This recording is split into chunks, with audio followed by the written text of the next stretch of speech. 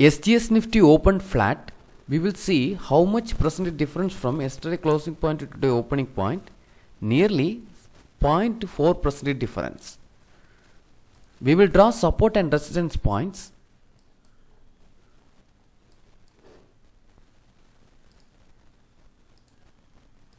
Here one resistance.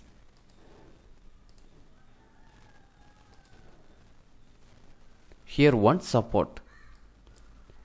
It's like a wedge form.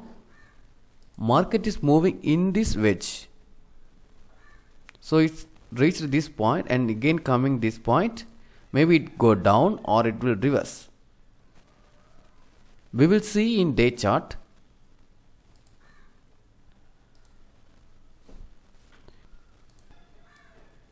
In day chart, market is bullish. We will draw resistance. Here one resistance. Same way, here also on resistance.